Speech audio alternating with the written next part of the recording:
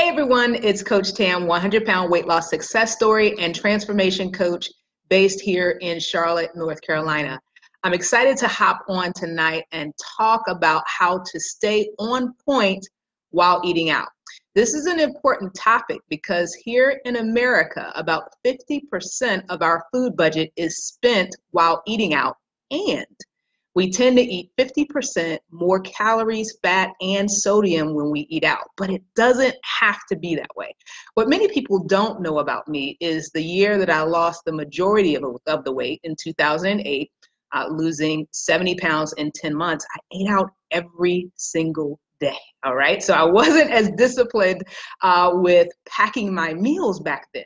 But what it taught me was a very important lesson about how it is possible to balance the two, to be able to eat out and reach your goals. So if that's where you are, if you're a person, you know, maybe you can't pack your lunch every day. Maybe you're a busy person and you need ways to be able to balance the two, then this broadcast is for you. And I want to encourage you to invite your friends and family that you tend to eat out with to this broadcast so that they can learn too. All right. So, three things that you can do to stay on point while eating out.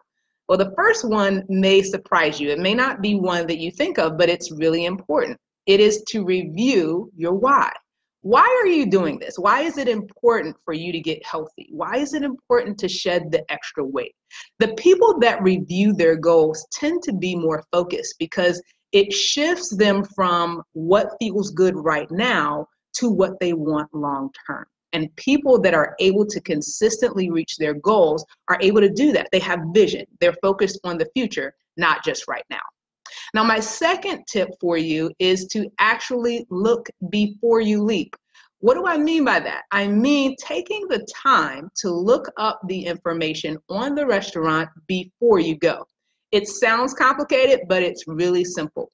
You can use a tool like MyFitnessPal. It has lots of information on many restaurants loaded into it.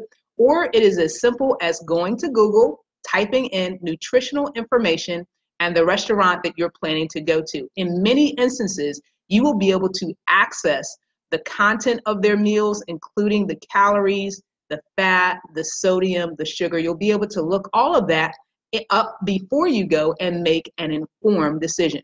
Now, if you are a person with high blood pressure or are of African American descent, I want to remind you that sodium is just as important as calories. So make sure that you're looking at that as well.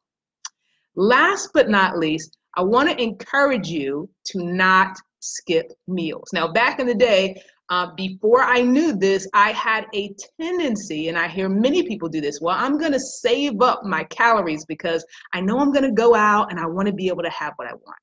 And that sounds great in theory. Here's the problem. When we skip meals, what tends to happen is that we are over hungry. So by the time we get to the restaurant, even if we plan to be good. We are so hungry that all restraint goes out of the window. It's just too much for us to bear. So then what we tend to do is order what sounds good in the moment but may not align with our goals. So instead, I want to encourage you to actually eat all of your meals prior to going to the restaurant. Now, it may make sense to cut back, maybe substitute, have some fruits and vegetables to reduce the calorie content for the day but you never, ever, ever want to go to a restaurant hungry because it increases the chances that you'll make a bad decision.